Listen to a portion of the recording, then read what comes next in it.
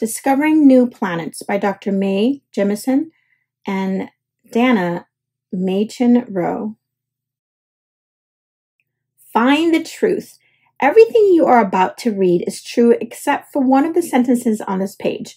Which one is true? Our sun is the only star that scientists know for certain has planets, or it is possible to take photographs of planets located outside of our solar system. Find the answers in this book. Table of Contents Chapter 1 Balls of Rockets and Gas How do planets form? Chapter 2 Searching for Planets How were the known planets discovered? Chapter 3 Planets outside our solar system How do scientists look for exoplanets? Hubble's planet picture. How did the Hubble Space Telescope take the first photograph of an exoplanet?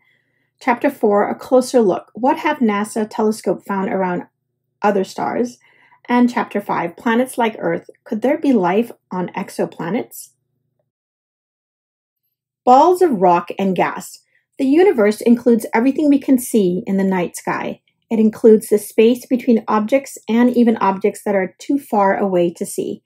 There are huge groups of stars called galaxies. Our universe has billions of these galaxies. Each galaxy contains billions of stars. Our sun is a single star in one galaxy. We call the sun, together with the planets and other objects orbiting it, our solar system. Without a telescope, galaxies look like stars when viewed from Earth. Different kinds of planets. The eight planets in our solar systems are Mercury, Venus, Earth, Mars, Jupiter, Saturn, Uranus, and Neptune. The planets that orbit closest to the Sun are small and rocky.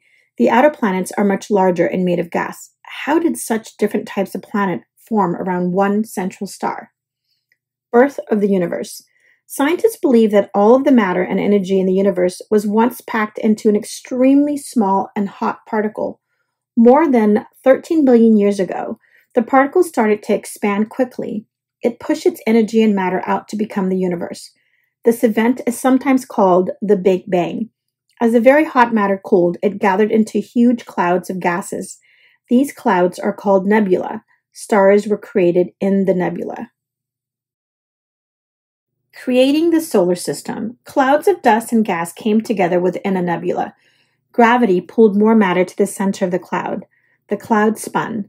The center grew hot and started to use the gases as fuel. Scientists think this is how stars form, including our sun. Stars across the universe were created and are still being created this way. Extra matter spinning around the cloud form into a flat disk shape. Some of the matter in the spinning disk clump together, and some of these clumps join together too. These larger clumps of matter are called planetesimals. Planetesimals are the early forms of the planets. Forming the planets. The sun sucked in most of the gases near the center of the disk. As a result, the planets that form closest to the sun are mostly made of rock and not as much gas. The planets that form farther from the sun are made of the gas that was still in the disk. As the planets spun around the sun, some crashed into each other. They picked up more matter. The leftover materials became moons, asteroids, and comets. Naming the planets. Ancient cultures all had different names for the planets. For example, Mars was called Hiru Dishit in Egyptian, Mangala in Sanskrit, and Huoxing in Chinese. The names we use in the English language today are names of gods in Greek and Roman mythology. Mercury means Roman god of travel. Venus, Roman goddess of love and beauty, Mars, Roman god of war, Jupiter, highest of the Roman gods, Saturn, Roman god of farming, Uranus, Greek god of the sky, Neptune, Roman god of the sea. Earth was not named for a god, earth means land or ground. Searching for planets. The word planet means to wander in ancient Greek. Ancient astronomers noticed that some stars in the night sky seemed to wander among the other stars. The planets we called Mercury, Venus, Mars, Jupiter, and Saturn were known by ancient astronomers around the world. Jupiter and Saturn are very far away. Because they are so large, however, they can still be seen without a telescope. Venus is called the evening star, appearing as the sun sets and shining the brightest in the sky. Uranus and Neptune. In the early 1600s, astronomers started using telescopes. They learned even more about the known planets. Uranus could be seen without a telescope, but scientists didn't realize it was a planet at first. In 1781, William Herschel saw it through his telescope. At first, he thought it was a comet, but because it was moving slowly, he realized it was a planet. Scientists found Neptune while studying Uranus. Uranus' orbit was unusual. Scientists noticed that the gravity of another object seemed to be pulling on the orbit. Many scientists tried to pinpoint the orbit of this unknown object. From their data, Johann Gottfried Galle was able to spot Neptune from his observatory in Germany in 1846. Pluto. Pluto was not discovered until 1930. Clyde W. Tombaugh at the Lowell Observatory in Arizona spotted it that year. Scientists were studying the orbits of Uranus and Neptune. Both planets' orbits seemed to be affected by another object. The scientists realized that there must be another planet beyond Uranus and Neptune. That planet, now called a dwarf planet, was Pluto. Space probes. Since these discoveries, we have studied our own planets from powerful Earth based telescope. The National Aeronautic and Space Administration, also known as NASA, has sent telescopes into space. They have also launched space probes, some probes fly by planets and their moons to take pictures and collect data. Other orbit a planet to study it over a longer period. Some probes land on the planet to study the atmosphere and surface. Planets outside our solar system. We know a lot about our solar system, but our sun is just one star. There are billions of stars in our Milky Way galaxy. Scientists think it is likely that many of these stars have their own planets. These planets are called exoplanets. It's not easy to find exoplanets. They do not give off light like stars do.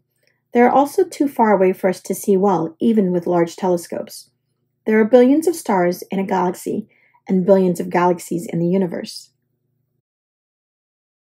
Finding exoplanets.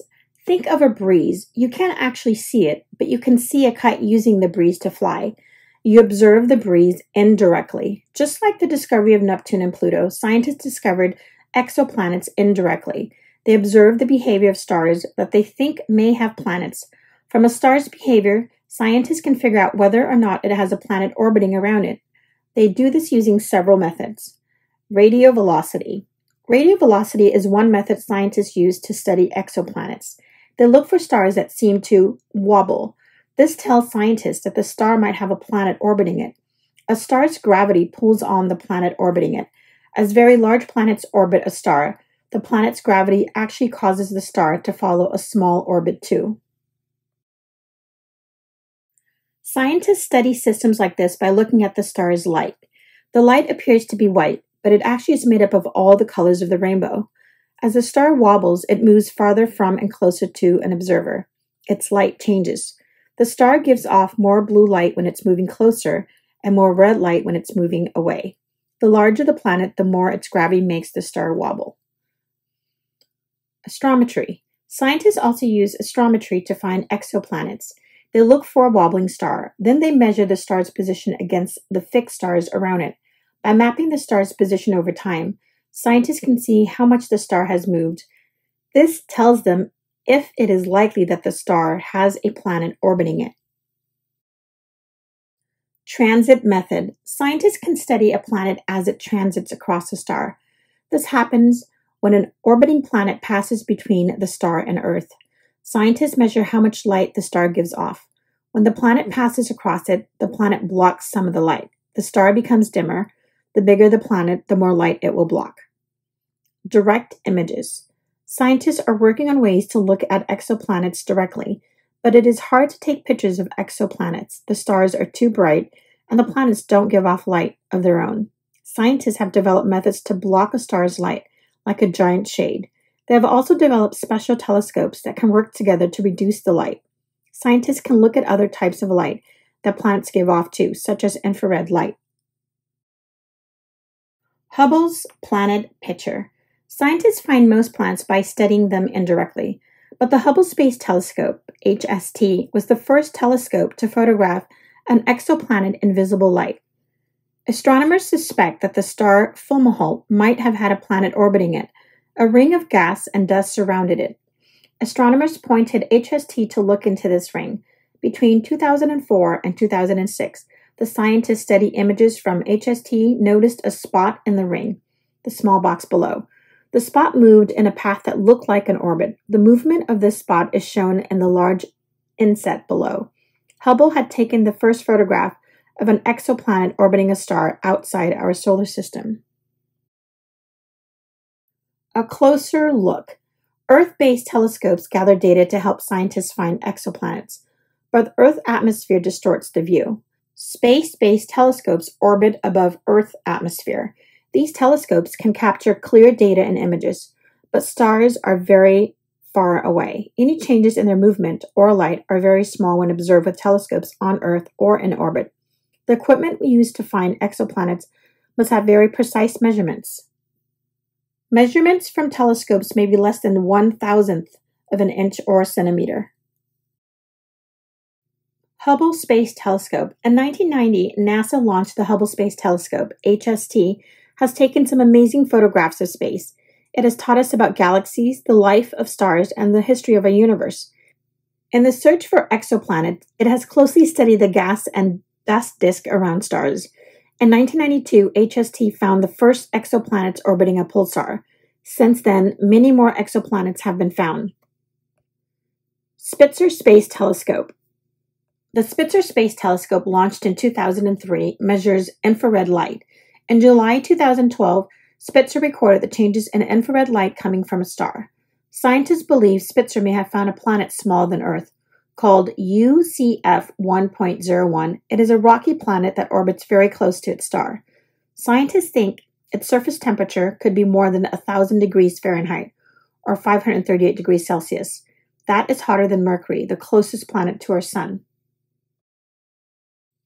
Kepler Space Telescope. In 2009, the Kepler Space Telescope was launched into Earth orbit. NASA uses Kepler to look for Earth sized planets. These planets might be as small as half the size of Earth or twice as big. Kepler is set up to observe the star filled region of the sky around the constellation Cygnus and Lyra. Kepler can look at lots of stars at once. It is currently looking at more than 100,000 stars. The telescope uses the transit method to look for exoplanets. It measures the changes in the brightness of stars, the amount of stars light dims tells scientists the size of the planet and its orbit. In June 2012, Kepler discovered a star called Kepler 36 with two planets orbiting it. One planet is a rocky planet about 1.5 times the size of Earth.